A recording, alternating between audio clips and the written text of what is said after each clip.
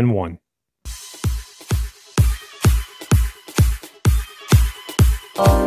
Ladies and gentlemen, people of all ages, welcome to another episode of Fulton Street Beats, where we like to give you a lot of information on a lot of different products and a lot of different cheap and inexpensive ways to set up a little home studio and not break the bank if you're just starting out. Okay, we got something special in store for you today. For those of you who are looking for inexpensive, as a lot of you are, home studio equipment. Don't be embarrassed to use inexpensive or, yes, even cheap things. For instance, look at this BM800 microphone. Now, no, I'm sorry, NW800. BM800 is right here. And don't be afraid of that one either. This one requires a little more effort to speak into, but it does sound good. The NW800 has been compared to, yes, a microphone. We've been over it. That is $12,500, and it was indistinguishable in a lot of tests. So it proves itself right out of the box, and it's $18.99. So we'll just get that right out of the way. If you want to look back at some other videos on that, you can look back and uh, see that. But today we're discussing what works together and will get you by in your home studio that's inexpensive where you don't have to worry about it sounding horrible. I have recommendations. No, I have not tried everything that's out there, but I like to experiment and try everything, and I stick with what works. We started out with a V8 sound card, and it works, and it works well, and it sounds good. It has its downfalls. Number one, it's small, it's too light, and it slides around. And number two, when you hit some of the buttons, someone speaks to you in Chinese and it gets broadcasted. So that's a downfall, a little bit of a downfall for me. Now, the second one that we tried was the Musin. And actually, I don't even think I tried that yet. Maybe we'll do that live sometime so you guys can get an idea. Now, this is the sound card over here. It's on my studio monitor. It's small. It looks really good. It's visually pleasing. But it's almost impossible to use because you can't read the writing on it because it's well a white on a really light gray and you can't read what it does. Also, it lacks a few options on the back as far as hookups go, and it makes it really hard for me to use for my YouTube videos. Then we go to the M9. This is the M9, and look at this thing. It does look professional for sure. I think it produces pretty good sound, especially for a podcast or a YouTube channel. Is it professional? No. It's 25 bucks. But it's got a lot of hookups that we need. I think what would make this really perfect is if it had an actual XLR in the back and it wasn't. These are XLR mics, but they're down converted to 3.5 aux. Man, would I like this sound card with a XLR input on the back. Them. And by the way, you can run three mics with this. You can run two XLR or um, two um, condenser mics and a dynamic mic if you wish. And it has all kinds of effects as Primal Sound Recording Studio Karaoke, which we're in right now, and I'm in the wrong one, and now we are on Recording Studio, and I hope that sounds better. Sometimes I get going on these things and they're not the right one. That was karaoke sound, and as you can hear, my voice just cleaned up quite a bit but it has a lot of special effects, and we've been over there those before too. So M9 sound card is what I am going to demonstrate today with the various other things and how they work with each other. How does the NW800 work with these Amazon Basics bookshelf speakers that are dubbed as studio monitors? Why are you using those, Mike? What is wrong with you? Are you stupid? No, I am not stupid. What I am is efficient. And I search for what works. And if it works, I stick with it. If it doesn't work, well, we go to something else. I wasn't going to buy these things, but my JBL MK3s went up and they're very expensive. And I needed a set of monitors. And at the time when I glanced through Amazon, these things were 50 bucks, long story short. Now they're incredibly they've they've they've risen dramatically to around the $140 mark and why that's not still a lot of money for good monitors with a five and a quarter inch driver and a one inch tweeter and a frequency response that simply will amaze. They produce a flat, flat sound that's detailed, perfect for a studio monitor, but they do lack connections in the back. But I'm digressing. Hold on. So at the time I bought these for 50 bucks, that's cheap. So let's see, we have $50 and then we have 25. So we're $75 in with speakers and a, and a interface. But wait, what else do we need, Mike, for this? Well, of course, I hope you all already all have a computer. Even though mine's not the greatest. Mine is actually a Chromebook, and I do not suggest a Chromebook because they're very limited. But what I did do was start out with this BM800 in a kit that came with the M9 sound card, which you can use definitely. You don't have to have the this one. The M9 is more expensive than the V8 sound card, only by six, seven bucks though. So think about that. Well, then I had to have this Musin because it's so beautiful microphone here. It's stout, it's beautiful, it's a great sounding mic. So I got a complete package again with that with the boom arm and this and, and the BM800 came with the boom arm and all the cables and everything. So basically, I have everything that I need. But I was searching for a mic, and I saw a video on the NW800, and I couldn't believe it when they compared it to a twelve thousand five hundred dollar microphone, and it equaled that microphone in many tests. So I bought it at the whooping high Amazon price of eighteen dollars and ninety nine cents. That's right. So what happens when we take this? We're going to do this today. I'm going to leave the BM800 out of the equation simply because I don't think that the B, the BM800 is on the bottom of this list, although it does work very well for podcasts.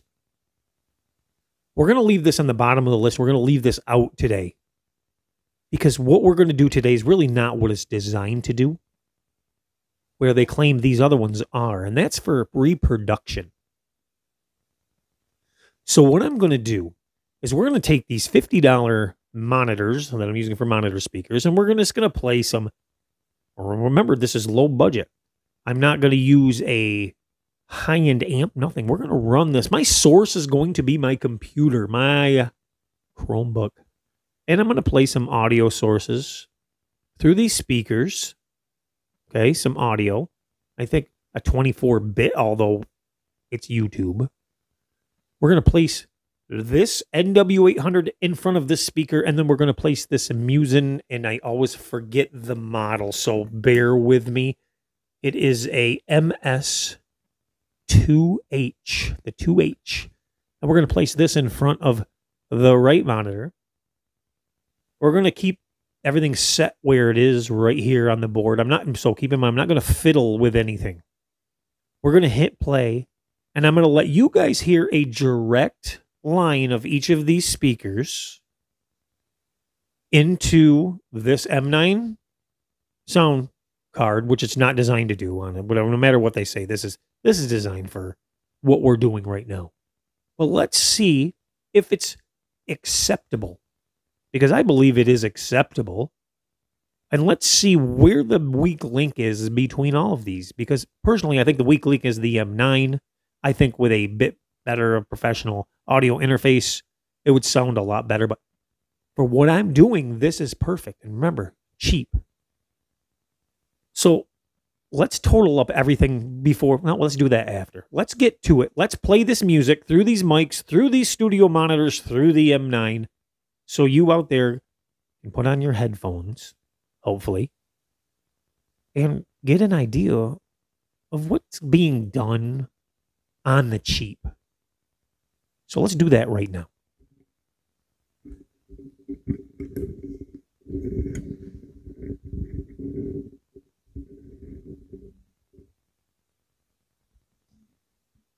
Now, I'm not going to run any pop filters at all, just so you know. So we're going to run it just like this.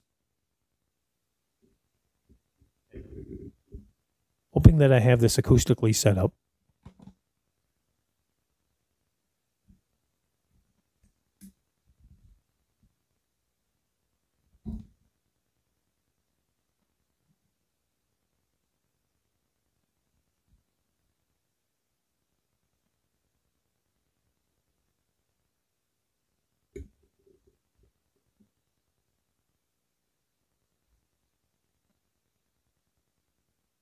About love,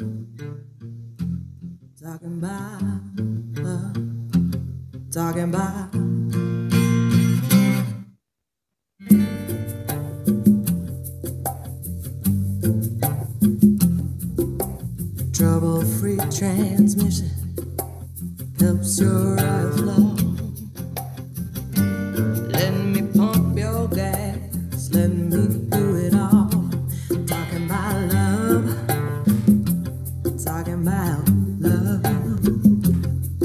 Love.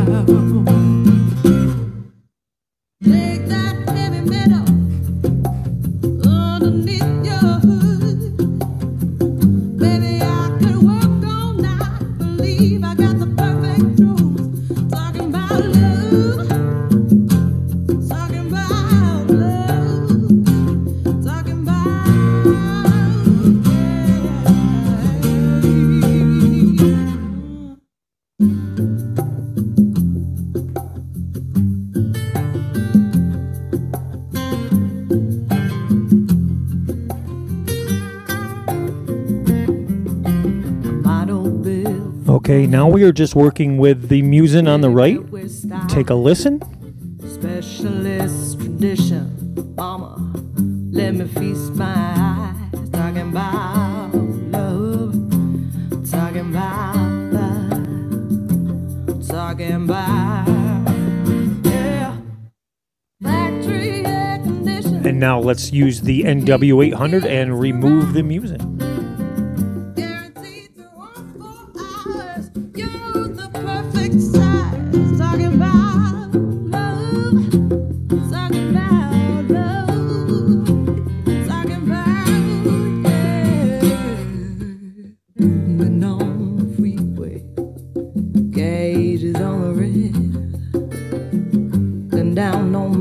Gasoline. And now let's go back to both. Talking about love. Talking about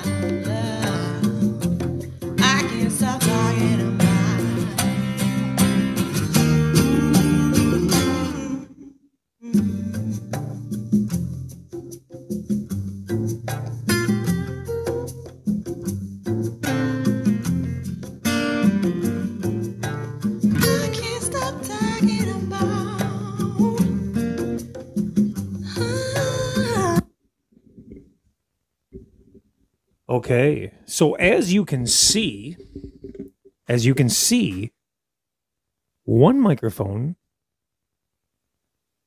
really works really well through the M9, and they both work really well. They both reproduce the sound pretty well for an inexpensive sound card and a um an inexpensive sound card and some and believe me, the weak link is not the speakers because of these things simply will the detail here will blow you away.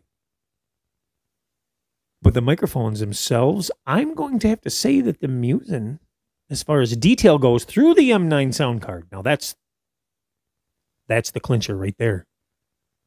This one works extremely well. Now, that's with the what's with the adjustments not touched. That's not to say that this NW800 will sound won't sound better.